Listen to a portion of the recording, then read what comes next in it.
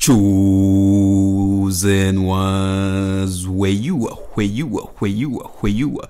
Chosen ones back with another powerful and productive video, right? Great. This person is sent into your life to get married to you.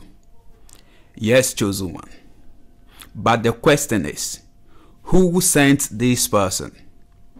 The person can be sent by the enemy of your soul. And at the same time, it could be that God sent this person. If it is God that has sent this person into your life to get married to you, then I tell you, that is going to be the best thing that ever happened to you. It's going to be blessings. It's going to be enjoyment. Yes, chosen one. It's going to be great. Even though there are testing time, but because the two of you agree, when there is mutual love that exists between the two of you, there is going to be a bond that is going to connect the two of you to become one. One in your mental thinking, one in your flesh, one in your spirit. You are going to be one in body, soul, and spirit. And I tell you, with such a person, you are going to reach the highest peak in life. There is nothing that you cannot surmount. There is nothing that you cannot achieve. There is nothing that you cannot overcome because love overcomes everything. Yes, love conquers all. Love is powerful, is the highest force of the universe. When it, it is real and it is genuine, and there is no selfish motive behind it, I tell you, is going to be of so much blessing to you as a chosen one. On the other hand, if this person is sent by the agent of the devil into your life, then this person is sent to keep you down, to keep you in bondage, to keep you in pain, to keep you enduring instead of blessings and enjoyment, and instead of loving you for who you are is going to be full of regret. You will always be soaking your pillow with tears and you'll be like, ah, it is better I didn't marry. Yes, chosen one. Marriage is a blessing and at the same time, it can be an unwise thing on your part depending on the kind of person that you are as a chosen one. I'm telling you. Yes, there are people that are meant to be alone, and there are people that are meant to be together. Which type of person are you? Are you the type that function well when you are alone? If you do well when you are alone, you become so creative and innovative, and you can go about your moves. You, you love your solitude, right? You love to be alone, you love to do things alone and you don't feel boredom, you feel okay, you feel all right with yourself. But you realize that when somebody is with you, you don't feel okay. You feel like, you know, there is a load on you. All right? You, the presence of people is like a burden to you, or the presence of a particular person is like a burden to you. Then you, this type of person, you are born to be alone. I'm telling you, you are a higher soul. You are a high soul. And such a person, alone, being alone, right, is a blessing to you. So you must know yourself. Are you this type? If you are this type, when you get married, it's to be of problem to you. Instead of a blessing and enjoyment, you are going to be enduring. You are going to be in pain you are going to be hurt. You are going to be miserable. I'm telling you. When you get into it, you realize that all that you've labored for, for this world, you are going to lose everything. To the extent that if you don't take care, you will go begging. Yes, you go begging and you ask yourself why. Since I get married to this person, life has been so difficult for me. Life has been so tough for me. Yes, sometimes in life, you need to know yourself. Let wisdom guide you because it's not everybody that is here to get married. Oh, yes, chosen one. So know yourself and don't feel pressured. Don't let people push you into getting married. You got to know who you are as a chosen one. Because, chosen one, it is not all that glitters that is gold. I'm telling you. I know of many married people today that are regretting, that are only enduring, that are in pain. Know yourself, know the person you're going in for. Seek the face of God together. And if it is meant to be, I tell you, God is not going to hide anything from you. If it is not meant to be, I tell you, God will allow you to go your separate ways. So always keep putting God first in whatever you do. I tell you, chosen one. Some people come into your life to ask for your hand in marriage just to keep you down. And some people come into your life to get married to you, to help you elevate, to help you grow, to help you achieve your mission, your vision here on earth. To some of you, marriage is going to slow down your vision and your mission. Yes, to some people, marriage, commitment to the other person is going to slow down the vision, is going to slow down the mission. So you must know yourself before you get into it.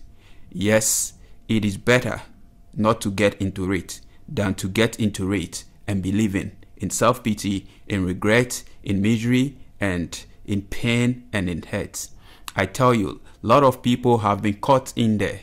They are trapped. They've been they've been kept down there. Meanwhile, such people are born eagles. They are born to fly alone into a more higher altitude. They are born to, I mean, overcome whatever storm. They are born to pursue their vision, to have accurate vision, to be in their mission and their purpose. But because of marriage today, they are down there and there is no growth, there is no advancement in life, chosen one. Chosen one, know yourself, all right? Know who you are. Let wisdom guide you. To some of you, you know that there is no way you can stay alone. Yes, to some of you, you know for sure that mm, I need a partner in order to advance, in order to grow.